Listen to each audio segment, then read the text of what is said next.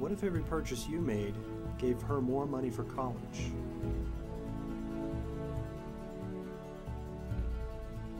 What if you could save all your change to give her the education she deserved? And what if all that change grew tax free? Now you can take that spare change, and with the Change Your Savings program from your credit union, you can turn it into an opportunity, all by using your debit card. Change Your Savings, a new product now available at your local credit union. Over the past 30 years, American families have seen, excuse me, the cost of public tuition at universities rise by nearly 1,000%.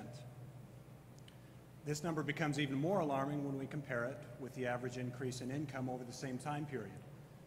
Over, from 1977 to 2007, wages have increased at about one-third the pace of those tuition costs. Now this begs the question, what are families to do to bridge the cost between what it costs to send their kids to college and what they're bringing in in income? Regrettably, the answer has been through the use of loans. On average, student loans upon graduation are at $23,600 for new, for new graduates. And even those students who do receive the assistance of their parents often receive it through the use of home equity loans, lines, or mortgage refinances. So what do we do to solve this problem? Clearly we need to get families saving, but not only saving, saving earlier, to start saving money at an early age for their children. The difficult thing is it's not that easy. To get families to save, there's been a lot of change in the industry. We've actually seen some successes, but in 2005, we experienced a negative savings rate. Now that's improved slightly, but we still, as American households, spend about 99% of our income. So how do we get families to save when it's such a difficult thing to do? We've seen some successes in our industry from those who have been able to automate the savings process. With that in mind, we've introduced Change Your Savings. The Change Your Savings program follows a keep the change format similar to what Bank of America offers, but offers a specific savings goal to the families. When the debit card is used, the change is placed into a Coverdell Education Savings Account where the money can grow tax-free until it's withdrawn by the student for their college expenses. And the most unique benefit to this program is that you're able to tie multiple debit cards into a single account. So, for example, not only can a child make contributions on their own behalf, but parents and grandparents can also make contributions into that child's savings account. Now, the natural question is how does this attract Gen Y? It sounds more like a product for parents.